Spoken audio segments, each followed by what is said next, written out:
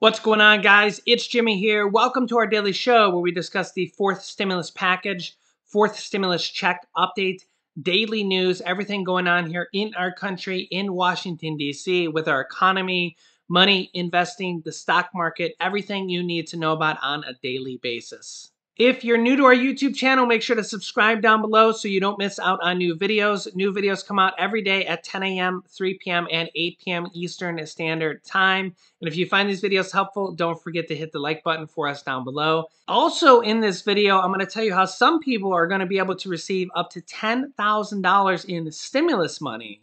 So definitely make sure to watch all the way to the end so you can find out about that as well.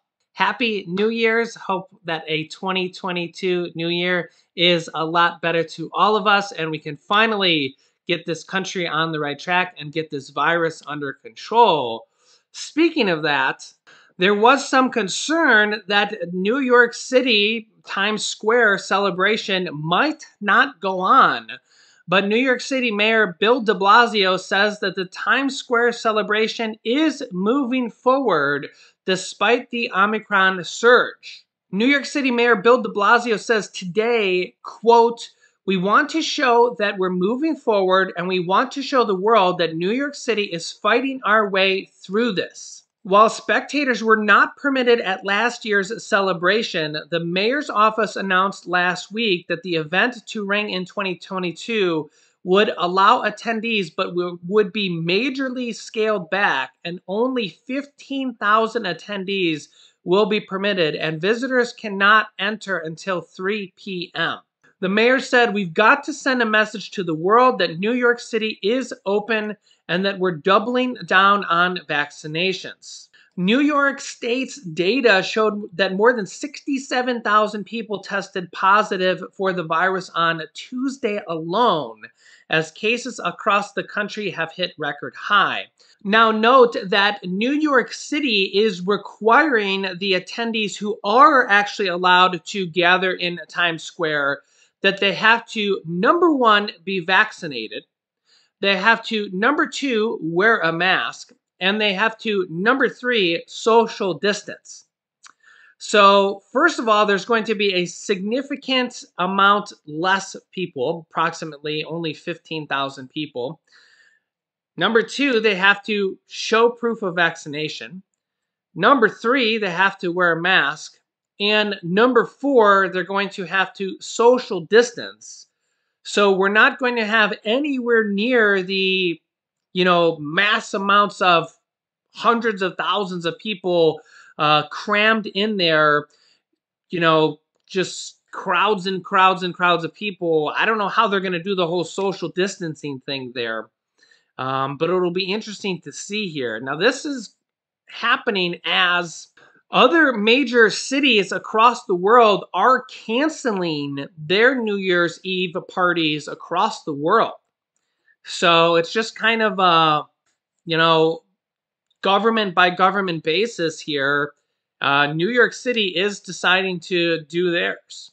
The cities that are canceling some or all of their events are Athens, Greece, Atlanta, Georgia, Berlin, Edinburgh, London, New Delhi, Paris, France, Rome, Bangkok, Cape Town, Chicago, Dubai, Las Vegas, Rio de Janeiro, Sydney, Taipei, and possibly others across the United or across the world. Yeah, so uh, ringing in the new year will still be an in an interesting one here. It's it's kind of weird. It's um, you know, if I mentioned it in the other episode, um, I, on the 26th, the day after Christmas, we tried to get a restaurant reservation and couldn't even get a restaurant reservation uh, on New Year's Eve. They were just sold out. We couldn't even. We called a couple restaurants and there wasn't even availability. so, uh, and we don't even go out to eat very often. I, I can't even remember the last time we went out to eat. It was um, for my wife's birthday. So it, it, it's it's it's kind of weird. So we're getting takeout. Um, we're just gonna. It's not Chinese takeout, but we're gonna just go to a restaurant and just they're to make it, and we're just to take it home for New Year's Eve. Uh, but let me know what you're doing for New Year's Eve. It's um, it's just a, it's a, it's not a normal year. That's for sure. That's for sure. Meanwhile, we broke the record again for new cases. Remember that the record previously was 300,000 new cases, if I can get it to show on the day here. Well, it doesn't want to cooperate today. The, the highest I can get it to show here on this graph is 280,000 cases, but the highest uh, previously was 300,000 cases. Um, we broke that three days in a row now. Yesterday, December 29th, 488,988 cases, almost 489,000 cases. Three days in a row here. So that's almost half a million cases. Yesterday, uh, we look at the day before, 380,000 new cases. And the day before that, 543,000 new cases. Wow. That is a lot. When we add those up, that's almost, I, I don't even know. That's, that's, I mean, we're nearing, that's almost 1.5 million cases in three days. Now remember here that, and let me show you the deaths here.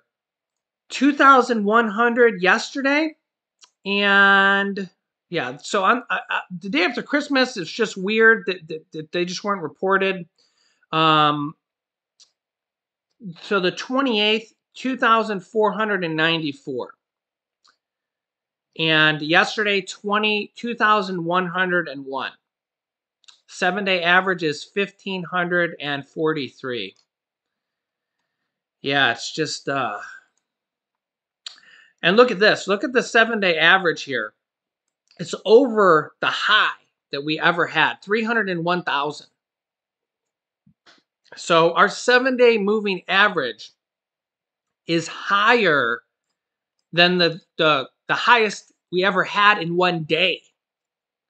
So we're now averaging more than we ever had in a single day. Now remember that these results that you're showing here are basically only from approved testing. Um, these are not from at-home tests. At-home tests don't get reported to the government, to hospitals or anything. If you take an at-home test and you test positive, nobody knows about it. You take an at-home test, you're positive, nobody knows about that. It doesn't get reported to anybody. So how many people are taking at-home tests and are positive and are in addition to that?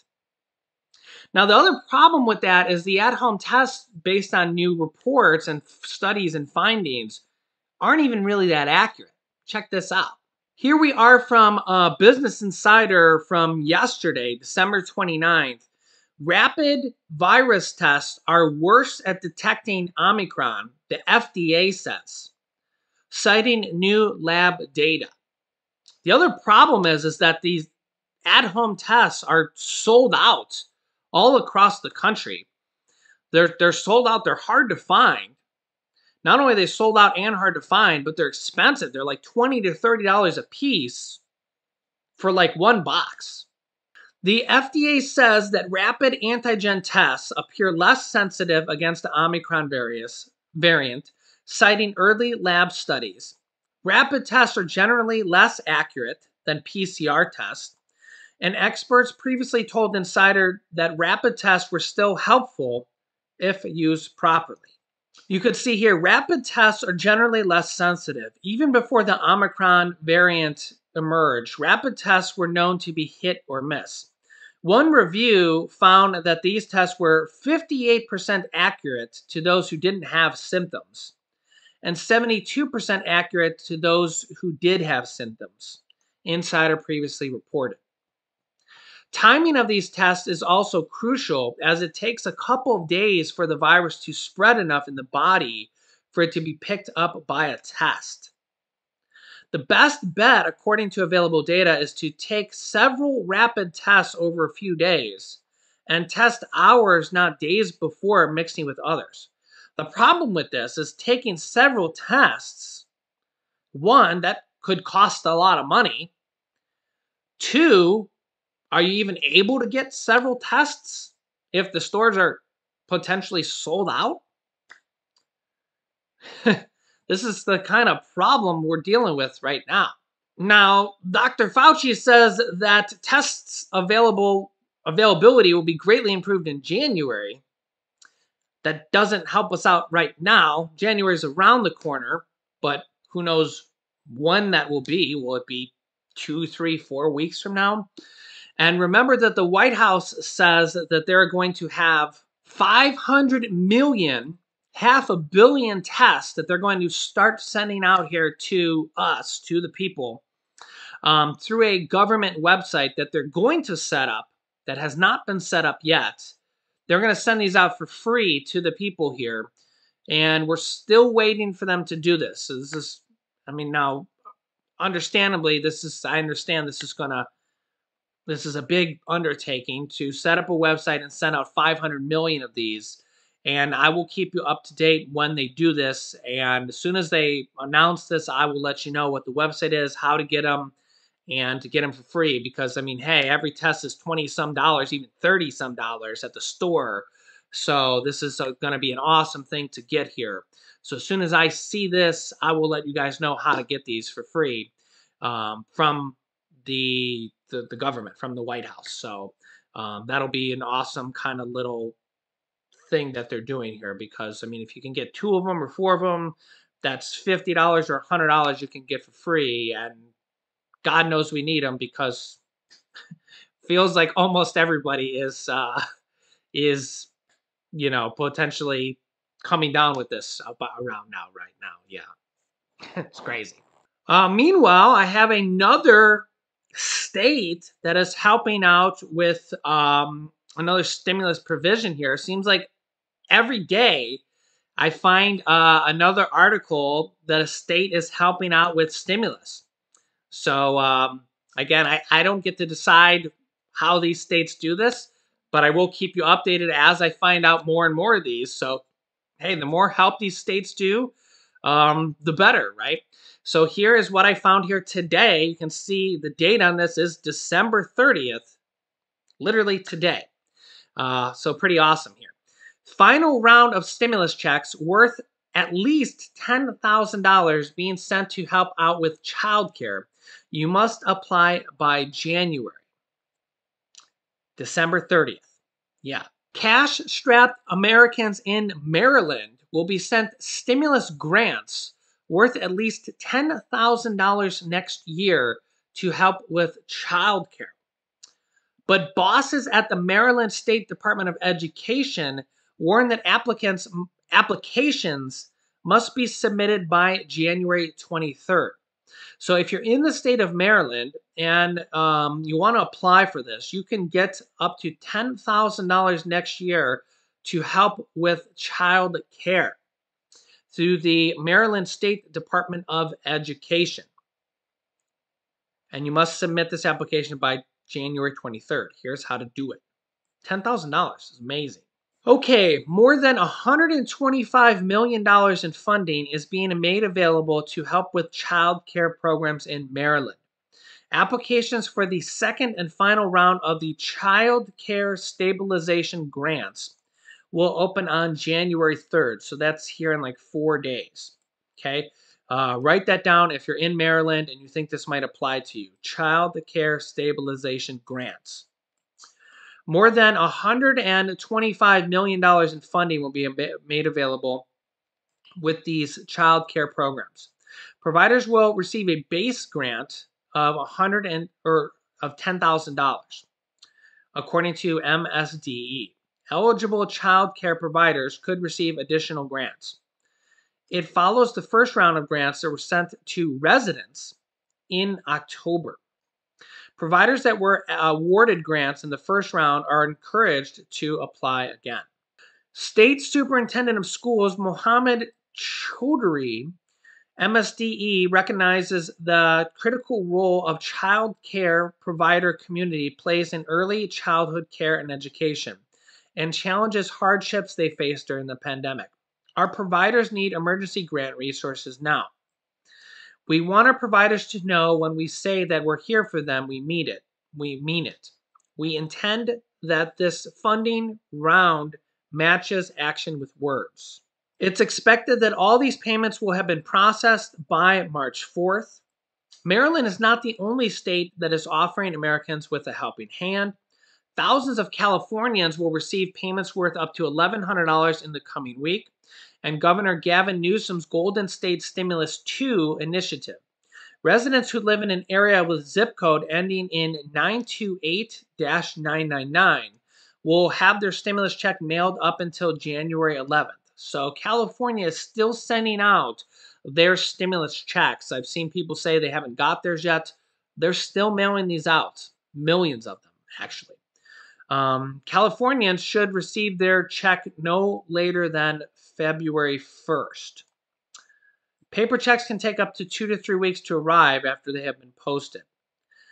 At least nine people, at least nine people million, yeah, they misprinted that, are expected to receive a state stimulus check before the end of the year. Americans in Maine are receiving stimulus checks as well uh, since November 15th and uh, $285 checks. Taxpayers in Indiana will receive a cash boost of $125 when tax returns are filed next year as well. State law requires officials to hand taxpayers a refund if state reserves total more than 12.5% of the general funding pot. Yeah, so Indiana is sending out $125 um, on tax returns as well. I recently reported that here recent uh, recently. Indiana governor said, quote, despite a pandemic, Indiana exceeded all expectations and closed the state fiscal year with, with an unprecedented amount of reserve.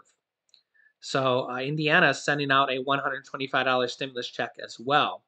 And will work with around 910,000 low-income Americans that pay taxes but submit a but submit tax returns. So I will keep you up to date as more and more states kind of give back to their residents here going forward, as well as the federal stimulus payments, federal stimulus programs, and the federal stimulus um, packages here going forward as well. So make sure to subscribe down below if you haven't yet so you don't miss out on new videos. Literally just click the subscribe button so you don't miss out on new videos that come out here on our channel every day at 10 a.m.